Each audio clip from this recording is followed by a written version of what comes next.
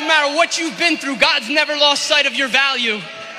On your darkest day, He never lost sight of your potential. Do you believe that, church? Do you believe that, church? Because I don't know if you ever read your word, but my word says, as a man thinketh, so he. Come on, somebody. There's power of life and death in your tongue.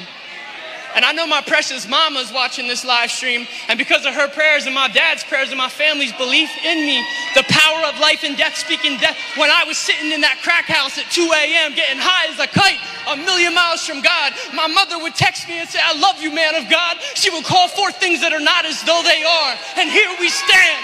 Come on, somebody. There's hope in the name of Jesus.